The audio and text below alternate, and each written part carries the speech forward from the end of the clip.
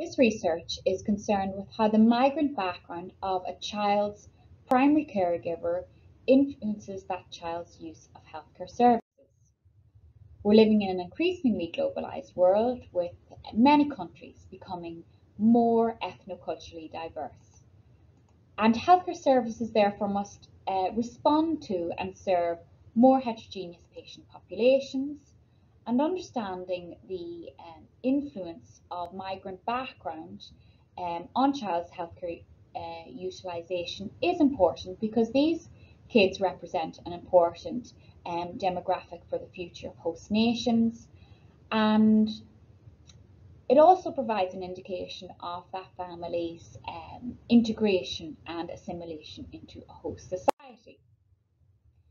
Uh, the study setting for this paper is Ireland, which is interesting in the international um, context because it's an advanced economy for which net immigration is actually a relatively recent phenomenon occurring in the last two decades and non-Irish nationals are making up a great proportion of um, our demographics. And then these residents are having children um, and there's an emerging cohort of, of children to non-Irish um, Irish born parents for the first time in the country's history. Um, so we use data from the Growing Up in Ireland study, uh, which is a longitudinal uh, cohort. Um, the child cohort were born in 1998 and first interviewed their families when the child was nine years old and followed up over the years.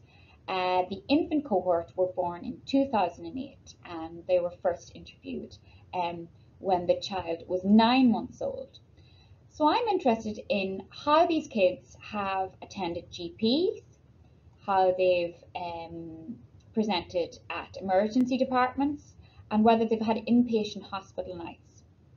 And I'm interested in these patterns according to the native origin of their primary caregiver, which is typically the mum. And of course, a control for um, the socioeconomic situation of the family, education, employment, uh, healthcare, uh, insurance, and um, that child's health status. And what the research finds is that there's significant disparities in healthcare utilisation across groups. So there was lower use of GP services, emergency departments and hospital nights by children um, whose primary caregiver was from non-EU, less developed, non-Anglosphere, so non-English speaking nations.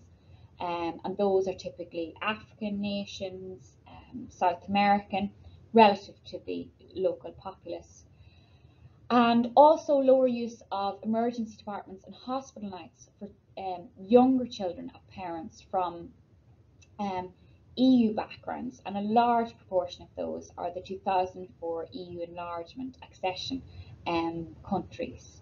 So all of this has implications then for healthcare planning, policy making and the research community as we try to understand um, migrant this phenomenon of migration um, in current and future um, population projections.